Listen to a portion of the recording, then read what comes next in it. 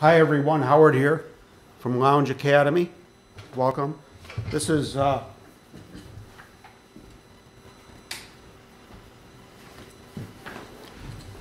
this is going to be mindless piano practice session. It is not live. I might post it. One thing good about doing this for you guys, my, the idea of this is that I'll, I'll, you know, get a half hour of this in. And if, if you guys are watching, it kind of makes me like, was looking for this, get the whole half hour in without, you know, taking too many breaks, screwing around. It's good to have somebody looking over your shoulder, isn't it?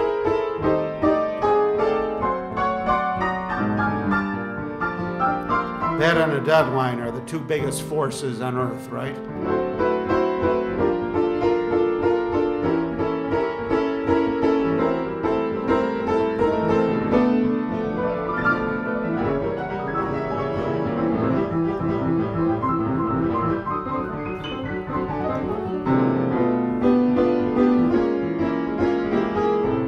Kind of new. Maybe it'll develop into something. Reminds me of something Jocko used to do, kind of in a paraphrase sort of way.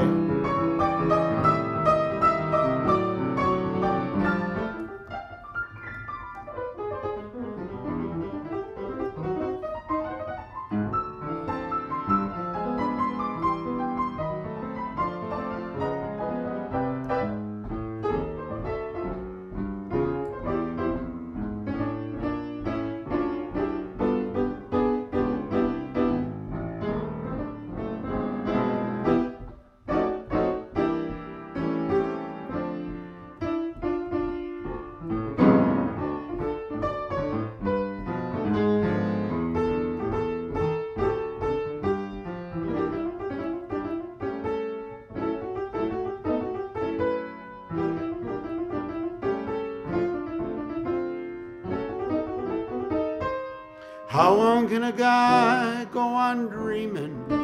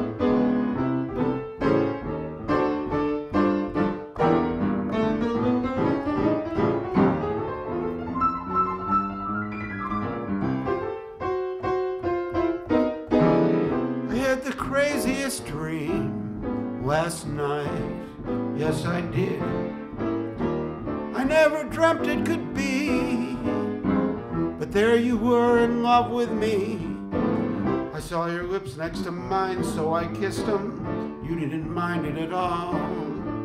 When I'm awake, such a break never happens. How long can a guy go on dreaming? If there's a chance that you care, then please say you do, my baby. Say it and make my make my crazy dreams come true.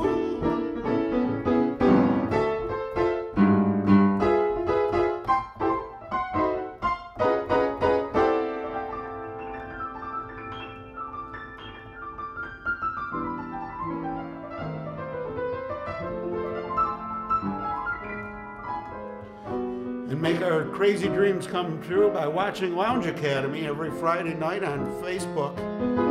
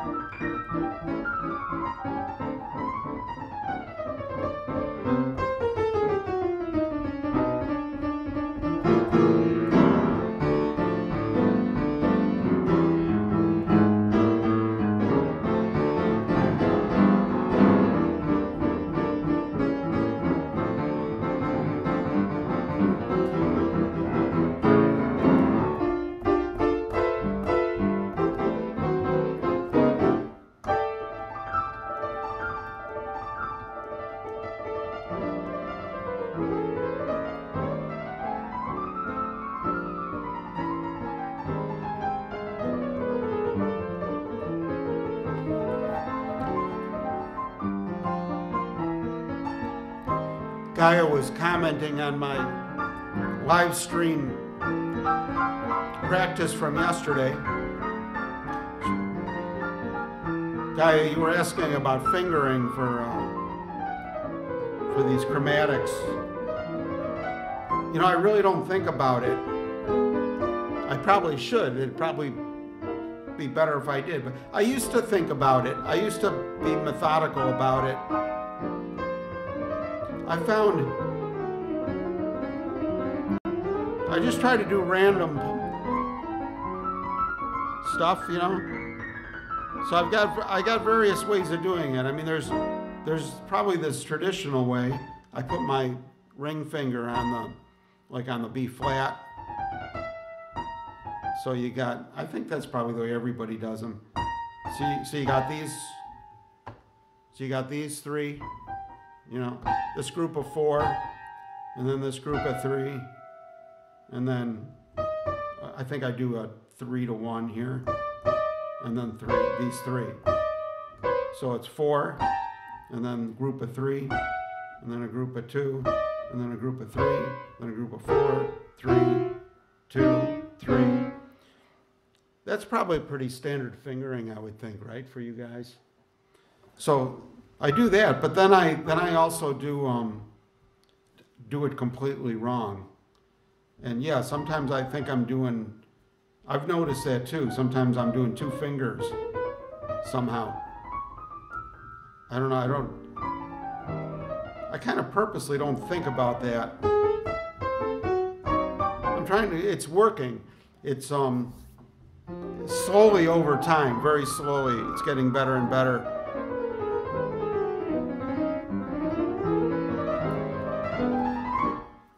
What I would do instead of worrying about fingers too much or too strictly.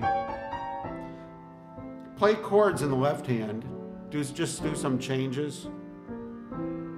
And just just keep playing chromatically.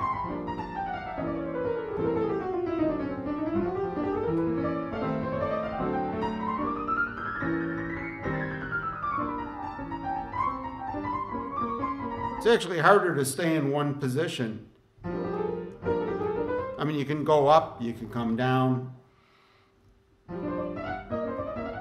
But it's, you know, if you don't, if you, if you try to just move up and down in tighter and tighter little bands, it gets interesting.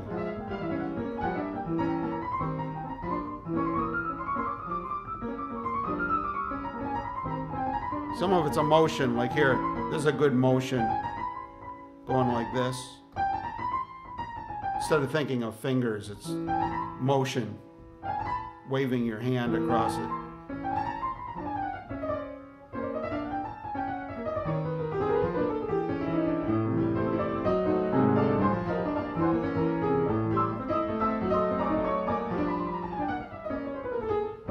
And I, never really think, worry about being clean, which is kind of obvious by the results. But lots of times I do get very clean results. And, you know, if I if I pull it in, you know, because I don't want, you know, I'm trying to like keep it within the realm of sounding normal in case there's people listening or, you know, it counts. And you pull it back a little bit. I, I, I find um, they, they get, they get cleaner and cleaner. And then there's different ways of it. I like to attack them different ways.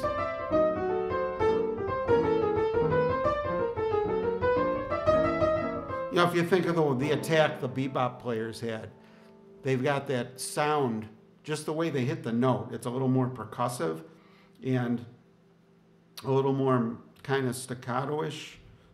Not exactly, but that's part of it. They get kind of a thing, you know, if you listen to Bud Powell and those guys, it's, it's real obvious, you know, they got that. They all, they all even they all do it. All the linear players.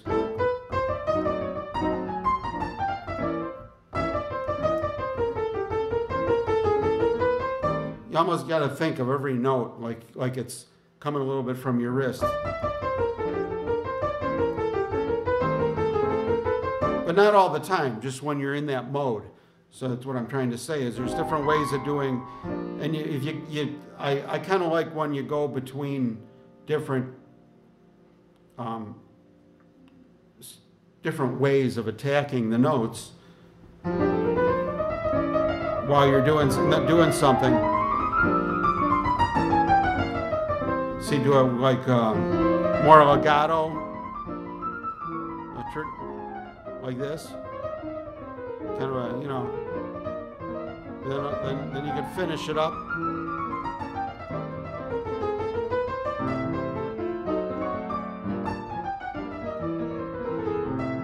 Mix them up. Those just those slightly different styles. That,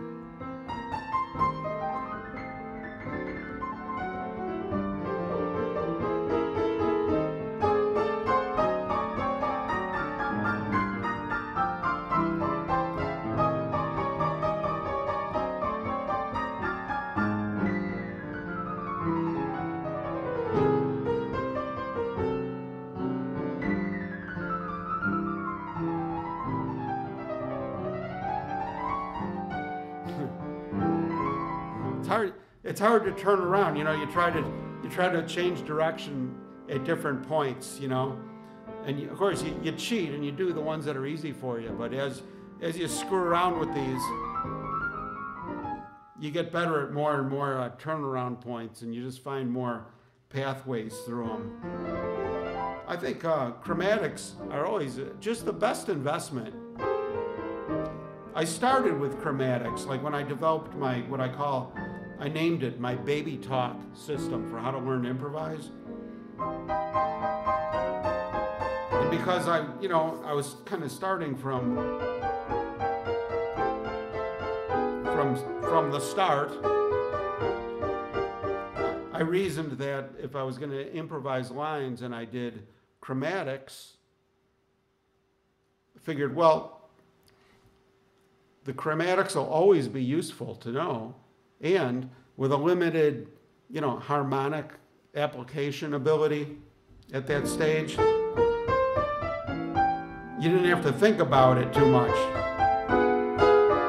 About what goes with a chord. Chromatics fit anything.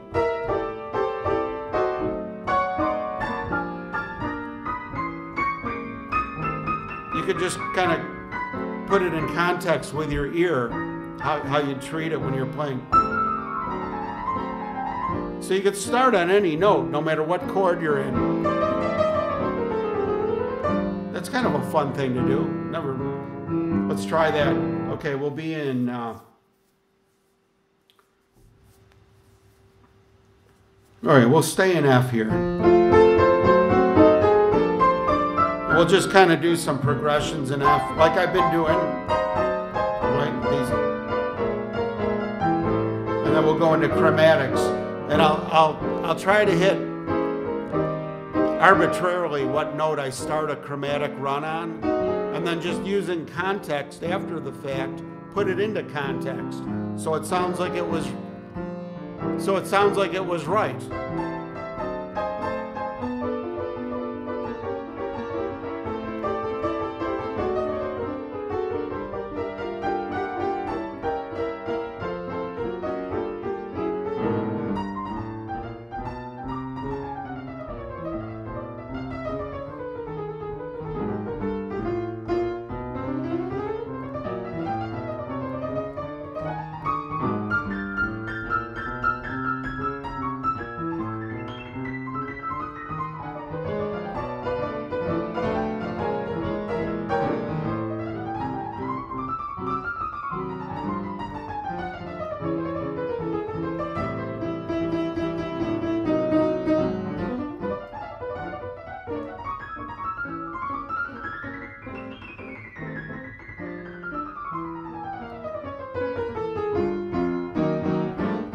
Okay, wait, I gotta try doing that. Try starting a run.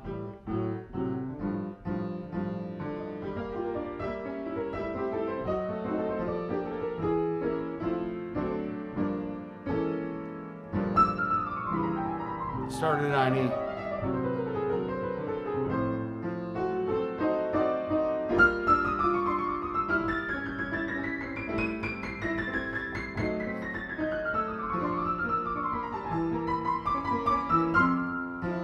started on what I start on F. I'll try A flat.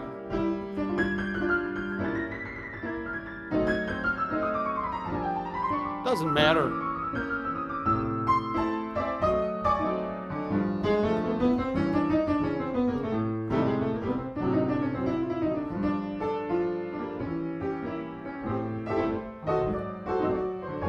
I won't look at what I'm starting it on.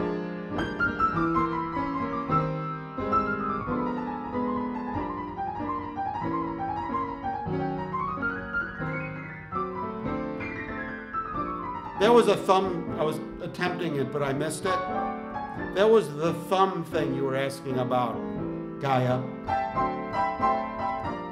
That was, there was a, a thumb gliss while I'm playing notes, black notes with fingers. I glissed with the thumb. And I, I did not originate that. And I did not hear it on a record, but I, I read it. I read that Art Tatum did that. So I, I went, so I, I tried it. It's a neat trick. And then and I, I finally, uh, you know, just got it, got it into my hand to where when I do certain things, I do that. Like just a, like what would be a, some kind of a scale.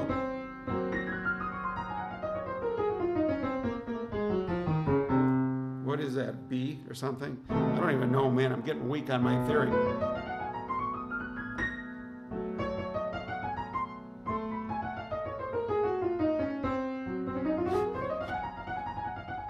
Forgetting my basic scales. But anyway, this one.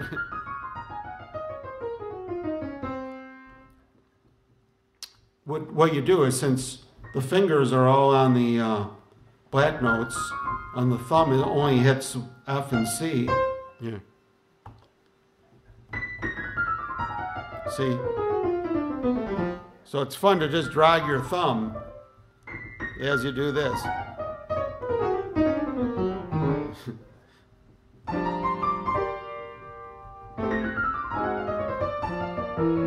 Only have to do a few notes like that. Yeah, you picked up on it. You pick up on everything, Gaia.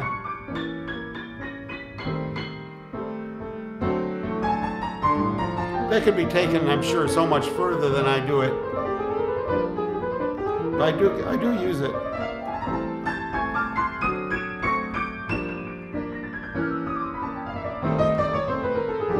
Now you got me thinking about it.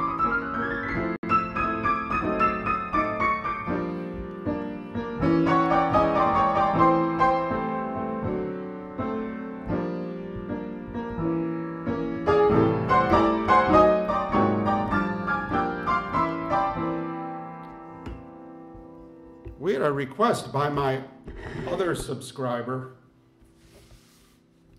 from Jim. I think it was the nearness of you. Let me see if it's in this book. He wanted me to do a solo on it. I never planned on those. Let's see. Is it even in this book? I don't think it's in this book. I, I don't know the changes by heart. It's not the pale moon that delights me,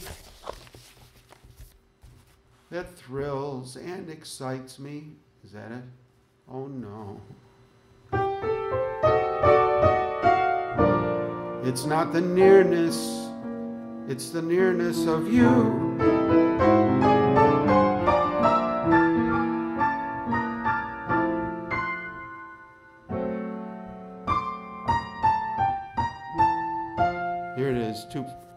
Page 254 in your songbooks, ladies and gentlemen.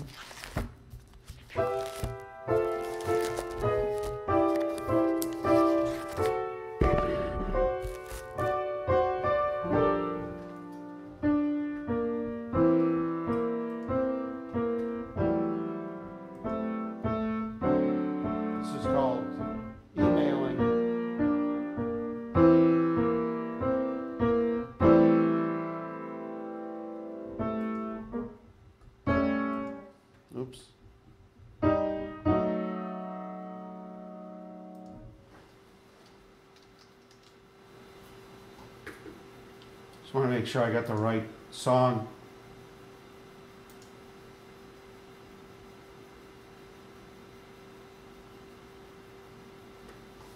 Oh, I have to look. I'm pretty sure Jim Parker wanted the nearness of you.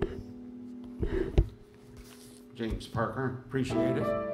I think I have like, I've got a whole 38 subscribers. But that's for all my topics of interest.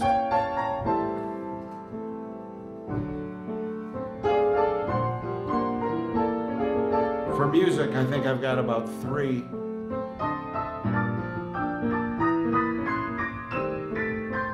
Which is fine, you know, because I got the top three. I got Jim Parker, who's a great guy. We've got Gaia. You can't beat that. And Ken McGuire. I mean, who needs more subscribers than that, right? The rest would just be filler. These are the most talented people I know. Oh, okay, this is not an F, it's an E flat.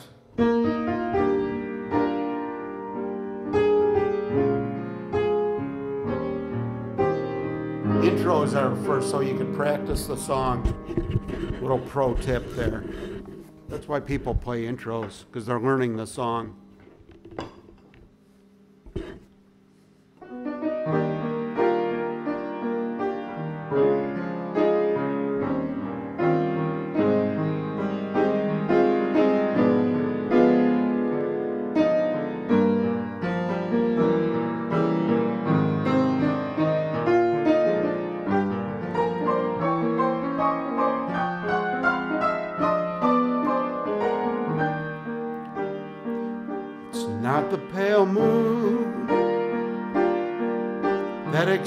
Me.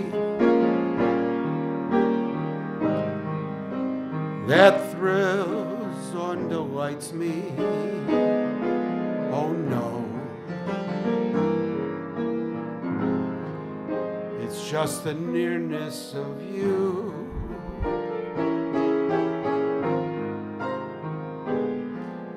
It's not your your sweet conversation this sensation.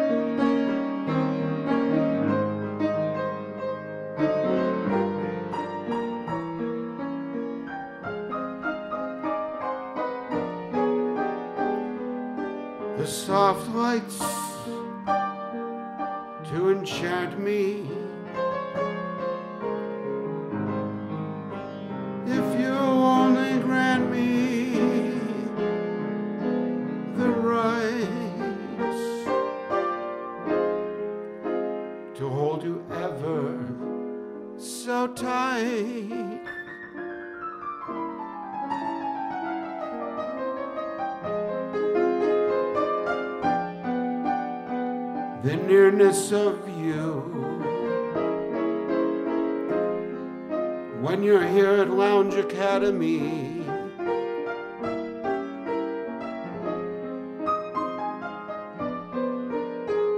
Thank you, Jim Parker, for requesting this song.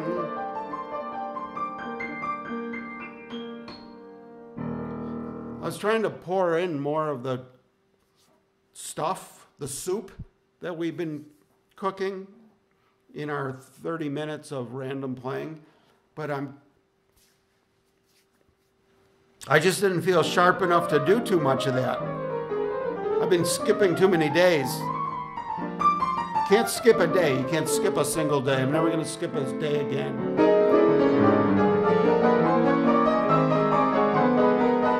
We'll see. I'll try to do that to demonstrate how you make the soup, you make the stock, okay? You do your random practicing every day where you're not playing songs, you're just you're playing around with keys. Okay, so here this one happened to be an E flat.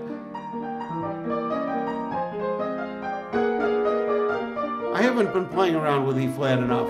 That might be one of the reasons I didn't have so many tricks to throw in. E flat is the people's key. should not be ignored.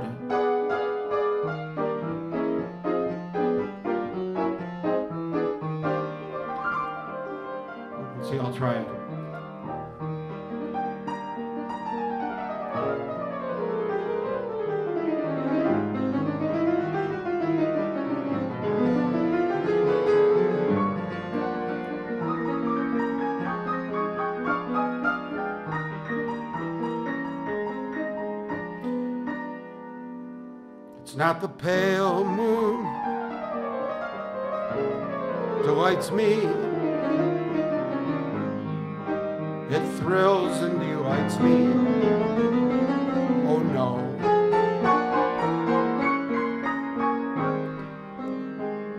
It's just the nearness of you.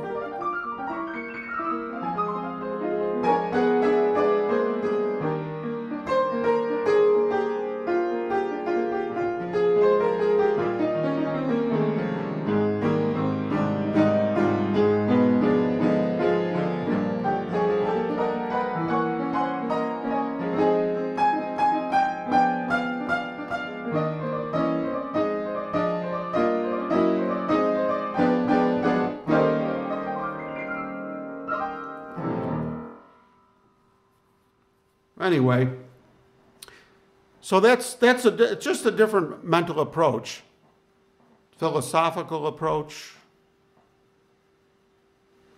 mental approach eh, of um, arrangements, you know, rather than kind of like a carefully plotted compositional. That's what I used to do. Like in the when I first learned this stuff years ago, and and I, I never liked the results for me because it, it just wasn't playing to my strengths, which were very few and far between.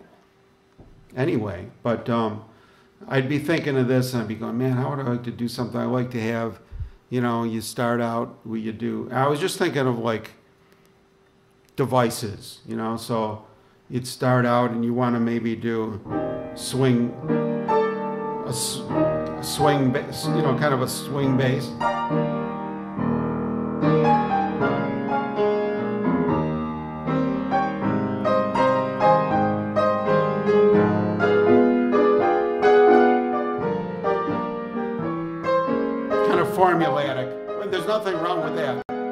Just the, the approach was, you know, to where I think, well, I'm around the turnaround, you know, like Tatum always did that. He'd, he'd do all these different things, but then at the turnaround, he goes back to a swing bass. kind of a stride, I, I should say. And then he does the turnaround and kind of brings it all home again with a stride.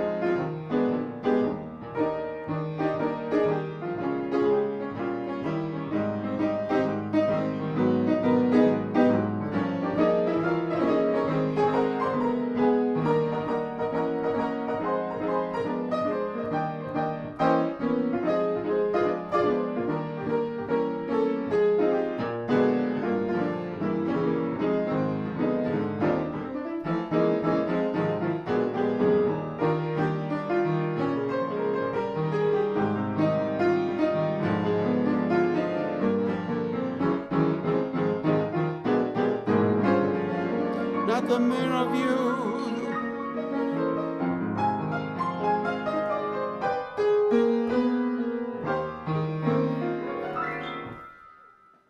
Yikes. Okay. Well, anyway, I'm just trying to, uh, uh, I'm trying to convey my thesis, which is um, in, instead of like thinking like an arranger when you're when you're putting together your arrangements is um, go back to your your stock, your soup stock, you know, where you where you you just you just kind of noodle around for a half hour a day on a few a few different keys. Common pick the common keys, go through them E flat, F, C, G,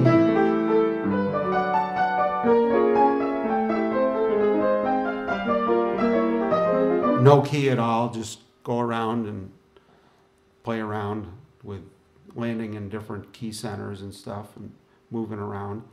And you develop just your own junk, you know, you develop things that um, start to become make sense to your own ear. They're they're they start out as not making a lot of sense, but then they start it starts to become a vocabulary that makes sense to you and to whoever's listening to it. It's just kind of the magic of what happens, you know. And you've got these different devices in there that you're doing, chromatics and stride and um, different ways of attacking the keys for different effects and uh, stylistic things. And and then when you when you do a, a song out of a book you you just kind of you, you just pour that in. It's you. You pour you in. There's nothing better than it sounding like you. You know it may not be as uh, clever and, and traditionally i don't know on paper, it might not be as beautiful, but people want to hear, hear you. They'd rather hear you making mistakes and sounding like it's, you know, that you're, it's just uh, coming through you. Um, I think, I think that's the trick to all this stuff is just to, uh, you know, people they talk about, they use terms like sounding authentic, sounding honest, and you're going, what the hell are they talking about, you know? That, I think that's what they're talking about. I think, you know, it's, you know it when you hear it, and it, it's, it's hard to put into words, and that's what makes uh, stuff kind of magical to us to, to where we're interested in hearing more of it. You know, that unexplainable. We don't know why we like it.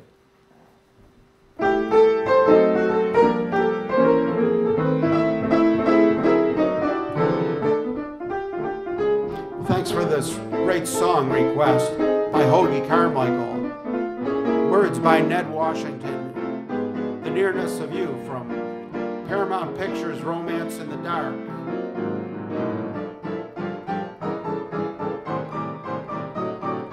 I think I'll play that song on a Friday.